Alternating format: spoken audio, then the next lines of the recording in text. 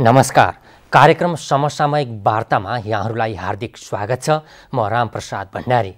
दर्शकवृन्द हामी यस कार्यक्रममा मुलुकको समसामयिक राजनीतिक र जनसरोकारका महत्त्वपूर्ण विषयमा छलफल र विचार विमर्श गर्दै आएका छौँ। यसै क्रममा आज हामीले स्टुडियोमा निम्ति आएका छौँ नेपाल सरकारका पूर्व मुख्य सचिव लीलामणि पौड्याल जो देशमा भ्रष्टाचार अन्त्य गरी सुशासन प्रवर्धन गर्ने अभियानमा सक्रियताका साथ लागि पर्नु भएको छ भने बागमती सफाई अभियानमा समेत उत्तिकै लागि पर्नु भएको छ। आज हामीले उहाँसँग खास गरी भ्रष्टाचार नियन्त्रण सुशासन प्रवर्धन लगायतका विषयमा केन्द्रित रहेर छलफल गर्नेछौँ। यहाँलाई कार्यक्रममा स्वागत छ। धन्यवाद। हजुर अहिले हामी अब भ्रष्टाचार र सुशासनको कुरा गर्दाखेरि यहाँ चाहिँ तिन वर्ष नेपाल सरकारको उच्च पदमा बसेर भर्खर निवृत्त हुनुभएको छ र निरन्तर रूपमा बाहिरबाट पनि यी घटनाक्रमहरूलाई निहालिरहनु भएको छ। अहिले हामी सुशासन र भ्रष्टाचारको कुरा गर्दाखेरि कहाँनिर छौँ? अब यो एउटा मोटामोटी सङ्केत चाहिँ हाम्रो ट्रान्सपरेन्सी इन्टरनेसनल को वार्षिक प्रतिवेदनले पनि दिन्छ सङ्केत गर्छ। भलै त्यसको सूचकाङ्कको बारेमा धेरै मान्छेहरूले प्रश्न गर्ने गरेका छन्। त्यसले चाहिँ भ्रष्टाचार निवारणको हाम्रा प्रयासहरू अभियानहरू चाहिँ अझै प्रभावकारी बन्न नसकेको भन्ने कुराको सङ्केत त्यसले पनि गर्छ। खास गरी भ्रष्टाचार चाहिँ अस्थिरता राजनैतिक अस्थिरता प्रशासनिक अन्यल अनि दण्डहीनतामा बढी मौलाउँछ त्यो क्रम चाहिँ अहिले रोकिया छैन। नरोकिया कारणले गर्दाखेरि यो भ्रष्टाचार निवारणका हाम्रा प्रयत्नहरू चाहिँ एकदमै देखिने गरी चाहिँ प्रभावकारी हुन नसकेको भनेपछि यहाँले जुन कुरा गर्नुभयो भ्रष्टाचार बढेको छ यो जुन रूपमा नियन्त्रण हुने अपेक्षा गरिएको थियो त्यो भएन। अर्कोतर्फ जुन खास गरी अहिले केही समय अघोषित नाकाबन्दीको चपेटामा परियो मुलुकले एउटा अत्यन्त नसोचेको एउटा दुःख बेहोर्नु पर्यो। यसैको मौका छोपेर केही कालोबजारीहरू माफियाहरू तस्करहरूले चाहिँ एउटा सिन्डिकेट खडा गरेको अवस्था छ र यसमा सरकारले चाहिँ यो कालाबजारी नियन्त्रण गर्न सकेन भनेर चौतर्फी आलोचना पनि सुनिएको छ। के कारणले यो नियन्त्रण हुन नसकेको हो जस्तो लाग्छ यहाँलाई? एउटा कुरा चाहिँ कस्तो भन्दाखेरि सुरुका दिनहरूमा जुन आपूर्तिमा अलिकति कठिनाइ आयो खास गरी पेट्रोलियम पदार्थको आपूर्तिमा त्यसमा चाहिँ अवैध बाटोबाट आपूर्ति भइरहने कुराहरूलाई चाहिँ पुलिस प्रशासनले अलि नजरअन्दाज गर्यो भनौँ न त्यसलाई चाहिँ। त्यति धेरै नियन्त्रण गर्न प्रयत्न गरेन। त्यति नै बेला चाहिँ मलाई त यो गलत दिशातिर गयो भन्ने लागेर तत्कालीन वाणिज्य मन्त्री र गृहमन्त्रीलाई मेरै नेतृत्वमा गएर हामीले ज्ञापन पत्रहरू बुझायौँ। नेपालको अर्थतन्त्र तस्करहरूको हातमा जाने खतरा बढ्यो। त्यसकारण यसलाई तुरुन्तै रोक्नुहोस् अहिले हामीलाई आपूर्ति बनाइरहन सघाउ पुर्याएको छ भनेर हामीले यो तस्करीलाई निर्वाध रूपमा गइरहन छोडिदिँदा भोलिका दिनमा औपचारिक जुन चाहिँ संयन्त्र हो अर्थतन्त्रको जुन चाहिँ पाटो हो त्यो पाटोलाई तस्करीको एउटा संयन्त्रले चाहिँ खलबलाइदिने खतरा निरन्तर रहिरहन्छ र यो यसले निरन्तरता पाइरहन्छ। जुन तस्करीको जुन प्रक्रिया त्यसले निरन्तरता कुनै न कुनै रूपमा पाइरहन्छ। र हाम्रो अर्थतन्त्र चाहिँ तस्करहरूको हातमा जाने। त्यसले सरकार चाहिँ आफू झन् कमजोर हुने सरकार भुत्ती हुने खतरा बढ्छ। त्यसकारण बरु सप्लाईमा नियम निरन्तर विचलन सप्लाईमा निरन्तर चाहिँ अवरोध आइरह्यो भने थोरै भइरहेको साधन तपाईँसँग उपलब्ध छ त्यसलाई कसरी न्यायोचित वितरण गर्ने भन्ने प्रणाली बनाउनुहोस्। अनि त्यो भइरहेको आपूर्तिलाई बढाउनका लागि वैकल्पिक उपायहरू के हुन्छन् त्यो खोज्नुहोस्। त्यसको विकल्प चाहिँ अनधिकृत व्यापारलाई चाहिँ अनदेखा गर्ने होइन भनेर दुवैजना मन्त्रीज्यूहरूलाई भनेका थिएँ। तर दुर्भाग्य म के भन्छु भने अघोषित रूपमै चाहिँ एक हिसाबले तस्करी भइरहेको कुराहरूलाई पुलिस प्रशासनले त्यतिखेर आपूर्ति चाहिँ नियमित बनाइराख्ने बाहनामा त्यसलाई अलिक छुट दियो। त्यस कारणले गर्दाखेरि त्यसैको के भने निरन्तरता अथवा त्यसैको प्रतिफल अहिले यो अनधिकृत व्यापार कालो धन्दा तस्करी अनि त्यो कार्टेलिङ अनि त्यो एकदमै बलियो भयो। त्योसँग अथा पैसा छ अहिले यो कमाएको। त्यही बेला कमाएको पैसा अथा छ। त्यो पैसाको बलमा उसले फेरि त्यो धन्दालाई निरन्तरता दिइरहन्छ। र त्यहाँ अवरोध आइरह्यो भने अवरोध हटाउने उपायहरू खोजिरहन्छ उसले। त्यो सङ्गठित भयो त्यो बलियो भयो त्यो रिसोर्सफुल भयो कि? तस्करी गर्ने संयन्त्र बलियो सङ्गठित अनि साधन स्रोत सम्पन्न र त्यो चाहिँ त्यो उसले कसरी गर्ने भन्ने ज्ञान उसले हासिल गर्यो। अनि सरकार अहिले चाहेर पनि नियन्त्रण गर्न नसकेको स्थिति छ। त्यो अवस्था आउँछ भन्ने कुरा चाहिँ सुरुका दिनहरूमा जब सरकार अलिकति खुकुलो देखियो सरकार त्यो खुकुलो देखिँदा बित्तिकै यो खतराको बाटोतिर गयो। बरु आपूर्ति कम होस् बरु जनताले दुःख खप्ट खष्ट ख सहनै परेको छ भने सहनै परोस् तर तस्करीबाट भएको आपूर्तिलाई चाहिँ रोक्नै पर्छ। त्यो भन्ने चाहिँ धारणा मेरो थियो। त्यसकारण हामी चाहिँ गएर मन्त्रीज्यूहरूलाई ज्ञापन पत्र दियौँ। उहाँहरूले नियन्त्रण गर्छु त भन्नुभयो तर व्यवहारमा देखिएन। त्यतिखेर उहाँहरूले चाहिँ अलिअलि गरेको त्यस्तो कुराहरू सूचना बाहिर पनि चुइयो पत्र पत्रिकामा आयो भने हामीले आपूर्ति एकदम धेरै अवरोध न आपूर्तिमा असाध्यै धेरै कठिनाइ नआओस् भनेर अलिअलि हामीले आँखा चिम्लेको हो भन्ने सरकारका अधिकारीहरूको औपचारिक समारोहहरूमा हामीले नै सुन्यौँ। त्यसको मतलब उहाँहरूले चाहिँ त्यो तस्करीलाई त्यतिखेर छुट दिनुभयो एउटा कुनै बाहनामा। अब त्यो चाहिँ एउटा हाम्रो अर्थतन्त्रको एउटा बलियो र खराब पाटोको रूपमा चाहिँ बस्यो।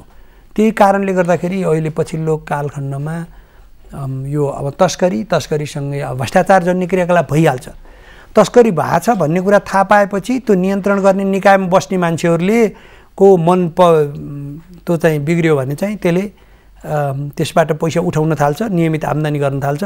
नियमित आम्दानी हुन थालेपछि नियन्त्रण होइन।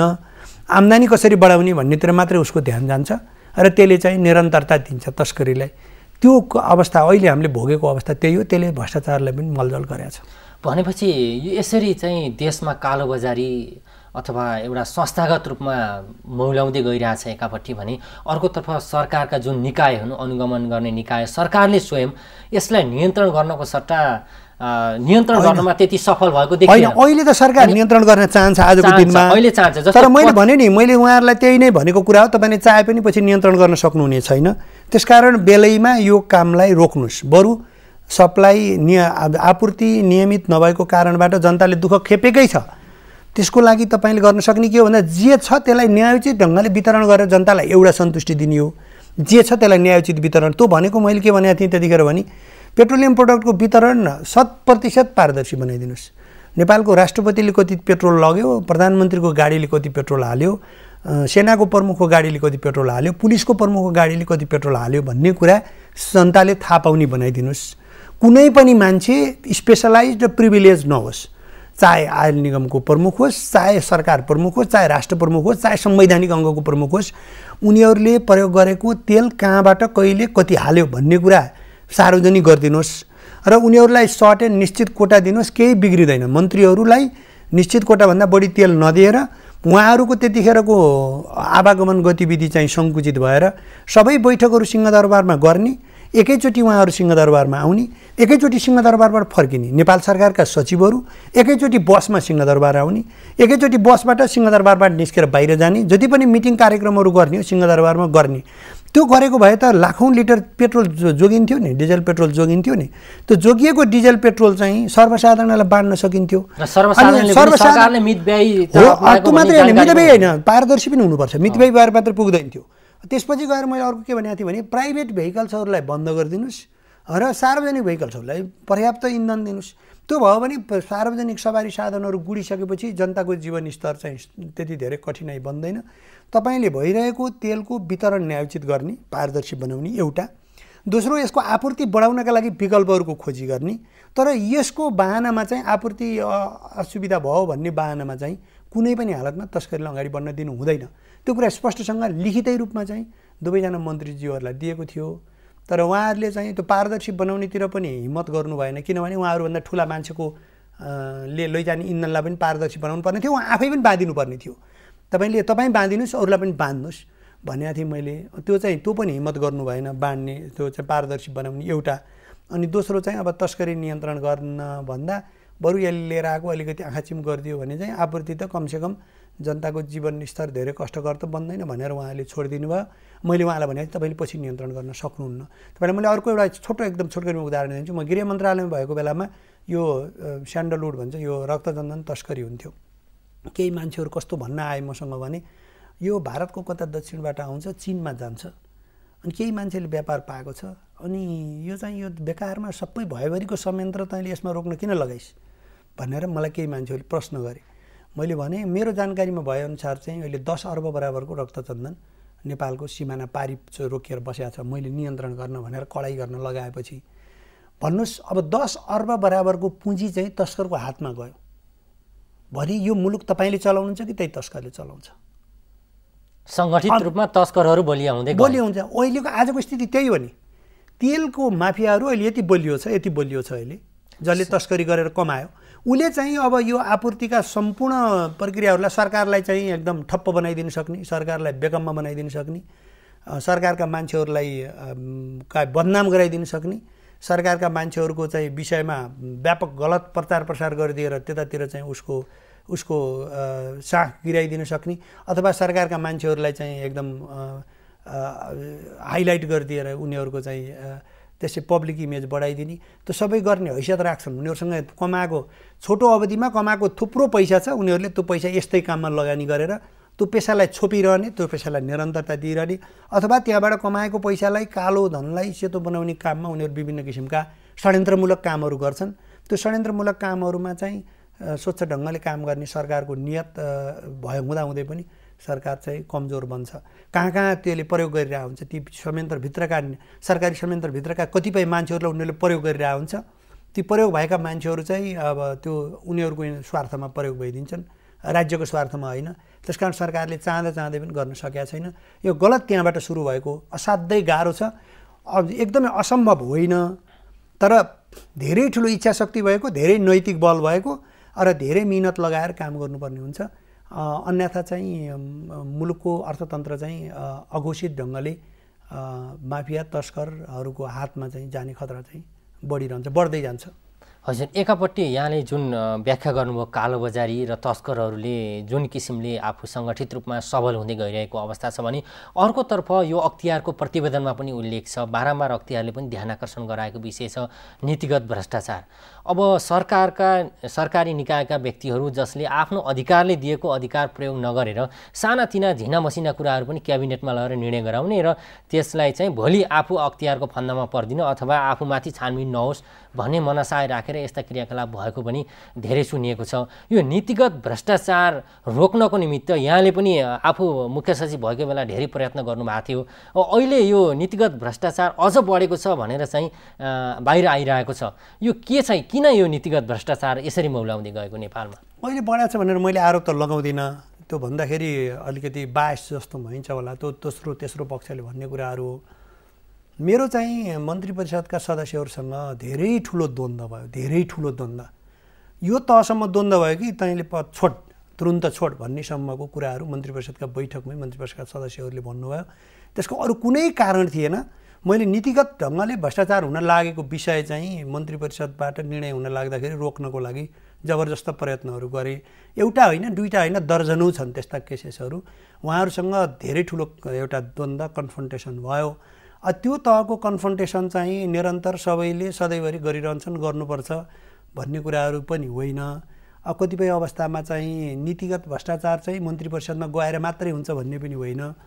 बाहिर पनि नीतिगत भ्रष्टाचार कुराहरू हुनसक्छ। तपाईँलाई मैले एउटा उदाहरणै दिन सक्छु।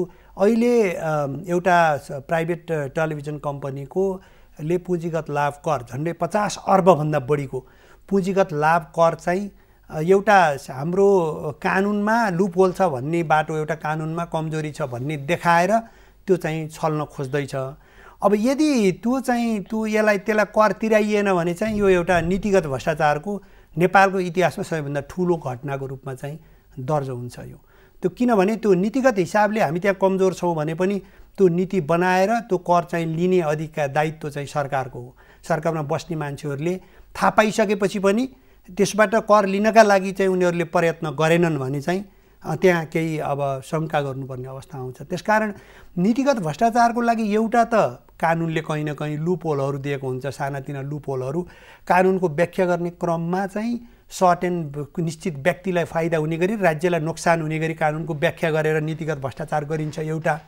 दोस्रो चाहिँ यस्तो निर्णय गरिन्छ निश्चित व्यक्तिलाई फाइदा हुने गरी निश्चित समूहलाई निश्चित स्वार्थ समूहलाई फाइदा हुने गरी मन्त्री परिषदमा लगेर निर्णय गराइन्छ र त्यसलाई चाहिँ भ्रष्टाचार गरिन्छ। यो दुइटै अवस्थामा चाहिँ नीतिगत भ्रष्टाचार हुन्छ। एउटा भइरहेको नीति अथवा कानुनको व्याख्या गर्ने क्रममा कसैलाई फाइदा हुने गरी व्याख्या गरिदिएर अनि कसैलाई छुट अथवा छुट दिएर त्यो चाहिँ मैले अहिले यो प्राइभेट टेलिभिजन कम्पनीलाई आयकर छुट दिने विषय चाहिँ अहिले भइरहेको नीतिगत व्यवस्थालाई हाम सरकारको पक्षमा राज्यको पक्षमा बलियो बनाएर त्यो लिनुपर्नेमा त्यहाँ यहाँ कमजोरी छ भनेर सानोतिनो कमजोरीहरू देखाएर छोडिदियो भने एउटा त्यस्तो नीतिगत भ्रष्टाचार हो।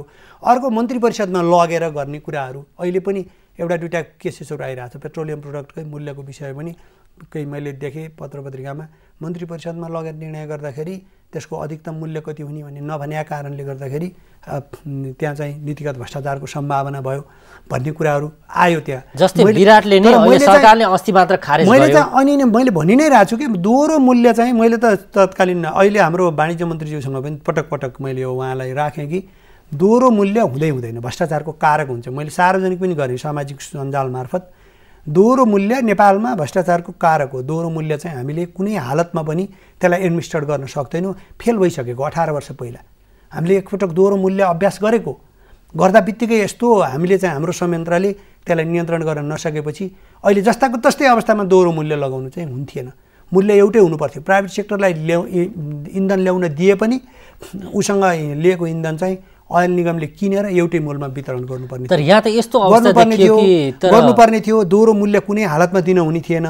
त्यो दोहोरो मूल्य भनेको त के हुन्छ भने अयल निगमको एउटा पेट्रोल ट्याङ्कर नेपालमा आयो अनि प्राइभेट सेक्टरले मैले प्राइभेटबाट झिकाएको भनेर लगेर त्यो उनासयको पेट्रोल एक सय तिसमा बेच्यो। एक सय तिसमा त्यहीँको त्यहीँ जस्तो पाँच मिनटको दूरीमा अयल निगमले मगाएको पेट्रोल लगेर अनि चाहिँ त्यहाँ प्राइभेट सेक्टरको नामबाट बेचिदिएर अनि अयल निगमको जति आएको त्यति बराबरको रकम अयल निगमलाई जम्मा गरिदिएर बाँकी रकम बाँडेर खाँदाखेरि कसैलाई पनि थाहा नहुने। अनि त्यहाँ चाहिँ लाखौँ भ्रष्टाचार हुने सम्भावना त्यहीँभित्र हामीले दियो नि खुल्लम खुल्ला एक किसिमको खुल्लम खुल्ला भ्रष्टाचार भयो। दियो नि त त्यो अवस्था दियो। त्यो अवस्था दिन हुन्थेन। त्यस कारण दोहोरो मूल्य त्यहाँ राख्नै हुन्थेन। त्यो गलत भयो। एकदम गलत थियो। र त्यो गलत कामबाट सही परिणाम आउने नै थिएन आएन। तर ढिली भए पनि सरकारले यो निर्णय सच्याएको छ। ठिकै छ त्यो अहिले पछिल्लो पटक यहाँले चाहिँ एनसेलको प्रसङ्ग जोडिहाल्नुभयो जस्तो एनसेलले जुन करको विषय अहिले अत्यन्त चर्चामा छ खास गरी एक पक्षले यो कर लिनु आवश्यक छैन भनिरहेछ भने अर्को पक्षले चाहिँ कर तिर्नुपर्छ भन्ने किसिमको विचारहरू सुनिरहेको अवस्था छ।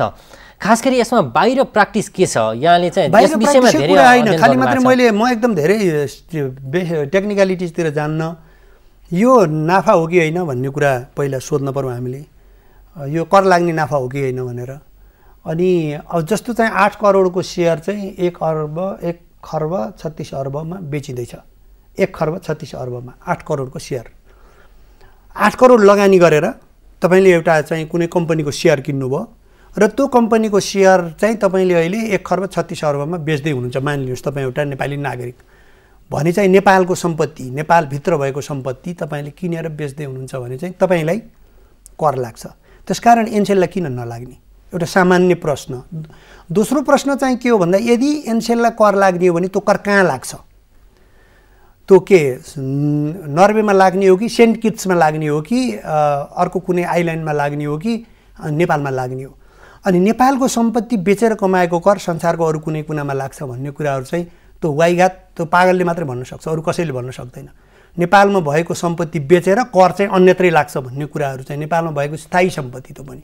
नेपालमा भएको ट्यान्जिबल एसेट्स अहिले एनसेलले बिक्री गरेको भनेको एनसेलसँग जे जे नेपालभित्र सम्पत्ति छ सिओदेखि हवाईजहाजसम्म जे जे छ अथवा नदेखिने कुरा इन्ट्यान्जिबल उसको गुडविल जे जे छ त्यही बेचेको अनि त्यो बेचेको कर चाहिँ कहाँ तिर्ने नेपालमा नतिरेर। यदि हाम्रो कानुनमा कहीँ कमजोरीहरू छ भने त कानुन बनाएर बलियो बनाएर लियो हुन्छ नि त। आज पनि लियो हुन्छ नि त। आजको दिनमा पनि कानुन बनाउनलाई त कसैले रोकेका छैन। हामी कानुन बनाउन त सक्छौँ आजको दिनमा पनि। त्यसकारण यो कारोबारलाई करयोग्य छैन भनेर करबाट उन्मुक्ति दिलाउने कुराहरू नै नीतिगत भ्रष्टाचार भन्छु मैले। त्यसकारण यो अहिले कुनै पनि हालतमा हामी धेरै टेक्निकालिटी चाहिँ अन्तर्राष्ट्रिय प्रचलन खोज्ने पनि आवश्यक छैन। तथापि त्यति हुँदाहुँदै पनि जो चाहिँ नेपालको आयकर ऐन बनाउन सुरुदेखि नै संलग्न हुनुभयो तत्कालीन पदाधिकारीहरू तत्कालीन आन्तरिक राजस्व विभाग कर विभाग भन्ने थियो कर विभागको तत्कालीन महानिर्देशक त्यसपछिका मन्त्रीहरू त्यसपछिका महानिर्देशकहरू कर उठाउनेहरू चाहिँ मैले के भनेका छन् भने कर लिन मिल्छ कर लिनुपर्छ हाम्रो कानुनमा पर्याप्त व्यवस्था छ भनिरहनु भएको छ उहाँहरू। उहाँहरू केही मान्छेहरू कहाँ छ? पर्याप्त व्यवस्था छैन भनिरहेछन्। छैन भने बनाए भइगयो त। तर यसैले आधार बनाएर आजको दिनमा पनि आजको दिनमा पनि तपाईँले त्यसलाई पर्याप्त व्यवस्था छैन भने अहिले पनि कानुन चौबिस घन्टाभित्र कानुन बन्छ। पचास अर्बभन्दा बढी राजस्व घुम्न लागेको अवस्थामा सरकारले आपतकालीन स्थितिबाट कानुन बनाएर पनि कर उठ उठाउनुपर्छ। जुन कुरा भारतमा त भूत प्रभावी कानुन बनायो हामी कहाँ त भूत प्रभावी कानुन पनि बनाउनु पर्दैन। आजको दिनमा कानुन बनाउँदाखेरि पनि भूत प्रभावी कानुन नबनाइकन त्यसबाट हामी कर लिन सक्ने अवस्थामा आज हामी छौँ। आजको दिनमा भारतले चाहिँ उन्नाइस सय बैसठीदेखि लागु हुने गरी दुई हजार बाह्रमा कानुन संशोधन गर्यो। त कर लिनका लागि यस्तै केसमा। तर भारतको भन्दा हाम्रो आयकर ऐन चाहिँ राम्रो छ बोलियो छ यो विषयमा स्पष्ट छ। त्यति हुँदाहुँदै पनि कर नलिनु अथवा कर उठाउन प्रयत्न नगर्नु अनि कर उठाउन प्रयत्न नगर्नु मात्रै होइन यदि त्यहाँ कमजोरी छ भन्ने लाग्छ सरकारी पदाधिकारीलाई भने उनीहरूले तुरुन्तै कानुन संशोधन गरेर तुरुन्तै कानुन संशोधन गरेर त्यो करलाई करयोग्य बनाउनका लागि आज पनि रोकिएको छैन। त्यो भूत प्रभावी कानुन बनाउनु पर्दैन फेरि। विगतदेखि लागु हुने गरी बनाउनु पर्दैन। आज कानुन बनायो भने आजको मितिदेखि लागु हुने गरी कानुन बनायो भने पनि त्यसलाई हामी कर उठाउन पर्याप्त सक्छौँ। यदि त्यो गरिएन भने त त्यो डेफिनेटली यो नीतिगत भ्रष्टाचार हो। यति गम्भीर विषयमा छलफल हुँदाखेरि कतिपय सरकारका उच्च अधिकारीहरूले यो एनसेल प्रकरणमा चाहिँ यदि सरकारले कर लिने व्यवस्था गर्यो भने वैदेशिक लगानी नेपालबाट हुन्छ भनेर चाहिँ खालका विचारहरू पनि सुनियो। त्योभन्दा वाइगात तर्क संसारमा अरू कुनै सुन्ने मान्छेहरू वैदेशिक लगानी सम्बन्धी सुन्ने जान्ने मान्छेहरूसँग उहाँले त्यो कुरा नगर्नुहोस्। त्यो सधैँ मान्छेले त्यस्तो कुरा गर्दै गर्दैन। नाफा गरेकोमा कर लिँदाखेरि वैदेशिक लगानी जान्छ भनेर भन्यो भने चाहिँ संसारमा कुन चाहिँ वैदेशिक लगानीकर्ता हो त्यो त कुनै एउटा वैदेशिक लगानीकर्ता आओस् न त हाम्रो अगाडि बहस गर्न आओस् सार्वजनिक कि? तिम्रो मुलुकमा चाहिँ नाफा गरेकोमा नाफामा कर लिँदो रहेछ त्यसकारण हामी वैदेशिक लगानी लिँदैनौँ भनेर कुन चाहिँ मुलुकले भनोस् होइन? त्यो चाहिँ त्यो भन्यो भने चाहिँ हामीले ए अँ हो ल हामीले चाहिँ गल्ती गरेछौँ भनौँला। त्यस्तो वाइघात पनि तर्क हुन्छ। हामीले चाहिँ त के हो भने लगानीकर्तालाई हरेस पो गर्नु हुँदैन। लगानीकर्तालाई उपयुक्त वातावरण दिनुपर्छ काम गर्ने वातावरण दिनुपर्छ बजारमा प्रतिस्पर्धाको वातावरण दिनुपर्छ नाफा गर्ने अवसर दिनुपर्छ। नाफा गरेपछि कर लिनुपर्छ। त्यो हो वैदेशिक लगानीको मूल मन्त्रै त्यही हो। संसारभरि वैदेशिक लगानी किन ल्याइन्छ भन्दा उसले नाफा गरोस् नाफाबाट कर तिरोस्। नाफा रोजगार कर पनि नतिरिकन जाओस् भन्ने त पक्कै पनि कुन चाहिँ मुलुक हुन्छ होला? संसारमा कुन चाहिँ मुलुक हुन्छ होला र कुन चाहिँ लगानीकर्ता हुन्छ होला मैले नाफा गरेँ त्यस कारण त कहाँ कर तिर्दिनँ भनेर। त्यस किनभने त कहाँ लगानीको वातावरण चाहिँ कर तिराउने रहेछ लगानीको वातावरण भएन भनेर कुन चाहिँ लगानीकर्ताले अब यति ठुला गम्भीर विषयहरू छन् नीतिगत भ्रष्टाचारका।